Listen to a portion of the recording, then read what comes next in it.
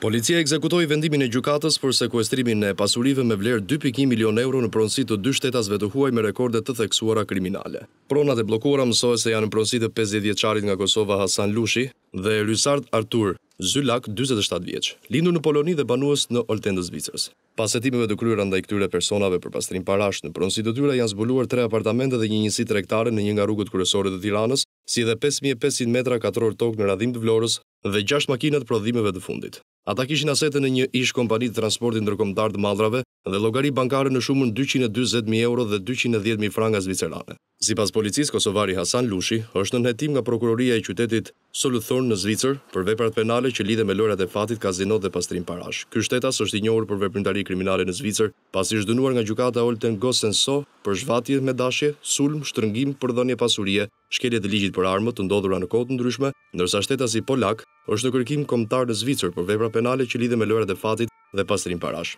Operacioni u zhvillua pas një viti hetim në funksion të procedimit penal të regjistruar për veprën penale Pastrimi i produkteve të veprës penale ose veprimtarisë kriminale. Policia ndërkohë deklaroi se po vijon puna për zbuluar asete, prona të tjera që rrjedhin nga aktiviteti kriminal i këtyre shtetasve, të cilat mund t'i ketë në emër të personave të tjerë apo të bashkëpunëtorëve në këtë aktivitet kriminal.